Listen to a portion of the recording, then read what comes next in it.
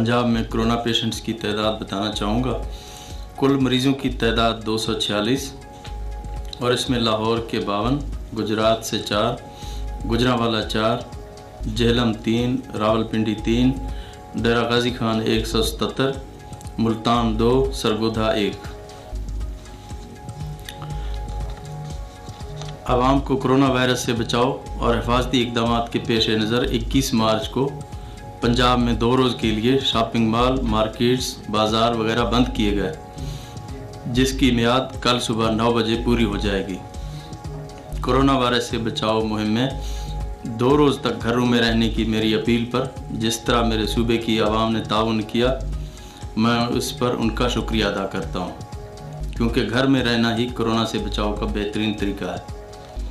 گھر میں رہ کر نہ صرف اپنے اور اپنے عزیز و قارب بلکہ پوری کمیونٹی کی جان بچانے میں اپنا بھرپور کردار ادا کر رہے ہیں۔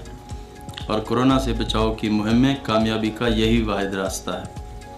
میں آپ کو بتانا چاہتا ہوں کہ پنجاب کی پوری سول انتظامیہ اور پاک فوج عوام کی خدمت اور حفاظت کے لیے سرگرم عمل ہے۔ میں اس کڑے وقت میں اپنی ذمہ داریاں نبھانے والوں کو خراج تحسین پیش کرتا ہوں۔ میں ان تمام ڈاکٹرز، نرسز، پیرامیڈیکل اسٹاف بلدیاتی اداروں کے ملازمین اور میڈیا کو بھی سلام پیش کرتا ہوں، جو اس مہم میں دن رات ایک کر کے اپنی ذمہ داریاں نبھا رہے ہیں۔ آج کابینہ کمیٹی برائے انسداد کرونا کا اجلاس ہوا اور صورتحال کو مد نظر رکھتے ہوئے چند اہم فیصلے کیے گئے، جن کی تفصیل کچھ یوں ہے منگل چوبیس مارچ صبح نو بجے سے سولہ اپریل، چھ اپریل صبح نو بجے تک۔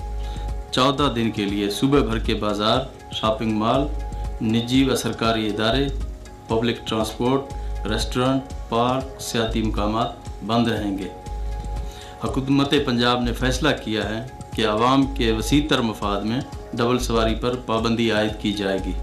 تاہم فیملیز اس سے مستثنا ہوں گی۔ مزید برآں میڈیکل سٹور، کریانہ سٹور، فروٹ اور سبزی منڈیاں، بیکریاں کھلی رہیں گی۔ ادویات اسیاء خرد و نوش بنانے والی اور سپلائی کرنے والی فیکٹریاں کھلی رہیں گی۔ وہ فیکٹریاں جو طبی آلات اور ضروری ساز و سامان تیار کرتی ہیں، وہ بھی اس سے مستثنا ہوں گی۔ ضروری سروسز فراہم کرنے والے ادارے واسا واپڈا ٹیلی کام کمپنیاں، ایدھی و دیگر ویلفیئر ادارے کھلے رہیں گے۔ میں آپ سب لوگوں سے ایک بار پھر تعاون کی اپیل کرتا ہوں اور اس سلسلہ میں چودہ دن کے لیے فوج اور سول ادارے احکامات پر عمل درآمد یقینی بنائیں گے۔ شکریہ۔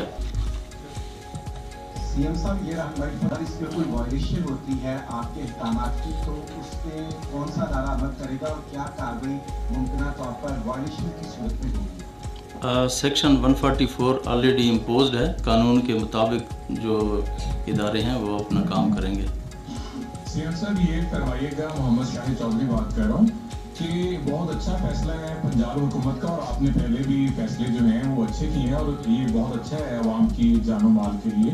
تو یہ فرمائیے گا کہ جو اس میں دہائی دار طبقہ ہے، غریب طبقہ ہے، جو روزانہ جس طرح کل وزیر اعظم صاحب بھی بات کر رہے تھے، اس حوالے سے کوئی پلاننگ کی ہے کہ چودہ روز کے لیے جو وہ لوگ بے روزگار ہوں گے، کیا حکومت حوالے سے کوئی گھروں میں کھانا پہنچائے گی یا اس حوالے سے کیا پلاننگ کی گئی آپ کی طرف سے؟ پہلے تو میں یہ وضاحت کر دوں، یہ کوئی کرفیو نہیں ہے، یہ کوئی لاک ڈاؤن نہیں ہے اس طرح کا، یہ آپ ذرا ذہن میں کلیئر کر لیں۔ دوسری بات یہ ہے کہ جو آپ کہہ رہے ہیں کہ جو جو غریب لوگ ہیں، ان کے لیے کل کابینہ کی میٹنگ ہے، اس کے اندر جو فنانس منسٹر ہیں، ان کو ہم نے ٹاسک دیا ہے، وہ اپنا پلان پیش کریں گے اور اس کو ہم اپروو کریں گے انشاءاللہ۔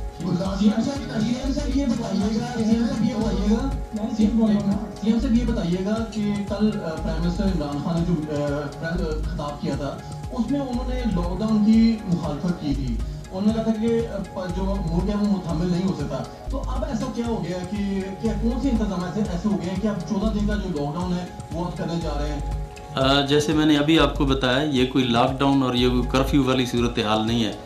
آج بھی آپ نے دیکھا کل بھی آپ نے دیکھا کہ جس طرح سے معاملات زندگی چل رہے ہیں، اس میں تھوڑی سی ہم نے چینجنگ کی ہے۔ اس طرح کی کوئی بات نہیں ہے کہ آپ سمجھیں کوئی کرفیو لگ گیا ہے، آپ باہر نہیں نکل سکتے۔ اچھا، آپ سے ایک سوال ہے، وہ یہ ہے پرسوں بھی آپ سے پوچھا گیا تھا کہ بڑی اچھی بات ہے کہ آپ نے جو ہے یہ لاک ڈاؤن کا فیصلہ کیا ہے۔ صرف جو ضروری دکانیں ہیں، وہی کھلی رہیں گی۔ لیکن جو اشیاء خود و نوش کی اگر اس دوران شارٹیج ہو جاتی ہے اس حوالے سے پنجاب حکومت کے کیا اقدامات کیے گئے ہیں؟ اس یہ ایک اس طرح کی سوشل ڈسٹینسنگ ہے جو ہم برقرار رکھنا چاہتے ہیں۔ اور میں نے کل بھی آپ کو بتایا تھا کہ پنجاب میں کسی چیز کی کوئی کمی نہیں ہے۔ اس کو ہم انشاءاللہ انشور کریں گے کہ پورے صوبے کے اندر جو ہماری سپلائی چین ہوگی وہ بالکل ڈسٹرب نہیں ہوگی۔ اچھا سی ایم صاحب سی ایم صاحب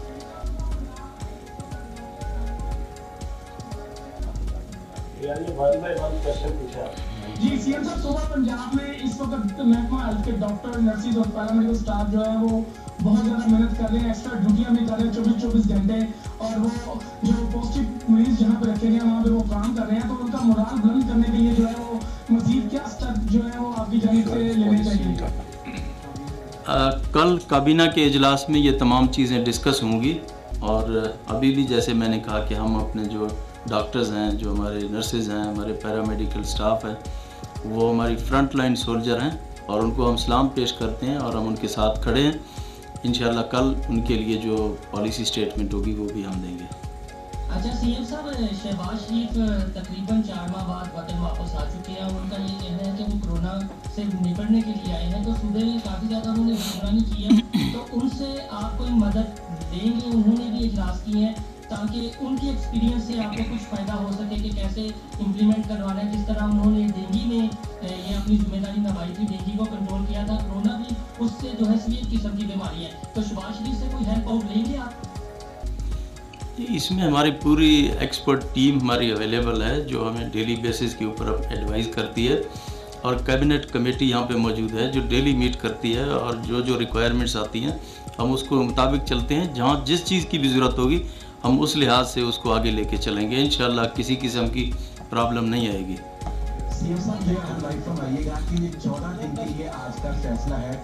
یعنی آپ کا سوال ہے۔ ٹرانسپورٹ وغیرہ بند رہے گی کیا پھر چودہ دن کے بعد دوبارہ اس کا تجزیہ کیا جائے گا کہ اب صورتحال کیا ہے اس کو ایکسٹینڈ کرنا ہے یا یہ ایکسٹینڈیبل ہے؟ جی آپ کو جیسے پتہ ہے کہ روزانہ کے بیس کے اوپر ہم میٹنگ کرتے ہیں اور ڈسیزن کرتے ہیں۔ اگر صورتحال اچھی رہی تو اس سے پہلے ہم اس کو ختم بھی کر سکتے ہیں۔ یہ تو روزانہ کی بیس کے اوپر ہم اس کو آبزرو کریں گے کہ ہمیں کیا کرنا چاہیے۔ تو جیسے جو ڈسیزن ہوگا اس کو ہم امپلیمنٹ کریں گے۔ بہت شکریہ۔ جی۔